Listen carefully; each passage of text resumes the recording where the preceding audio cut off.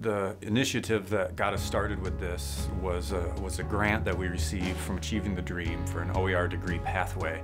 And basically the idea behind that was that we would create an entire pathway through a degree program that used nothing but OER. So we've actually accomplished that within just the first year of us doing this grant program. We were the first one to actually meet that goal. We got the grant in fall of 2016, and within a year we were able to produce an Associates of Arts degree pathway. There were 31 colleges, I think, 32, somewhere in there, that actually were part of this grant program. There's a lot more colleges that are moving to OER. Fall of 2015, where we only had a couple of classes uh, and a couple of sections. We've gone now to fall of 2017, where we have 30 courses and 75 sections. Really, students from any program, no matter what you're taking at, at Bay College, if it's an associate's degree level program, you're going to have a class or more that are, that are utilizing OER now.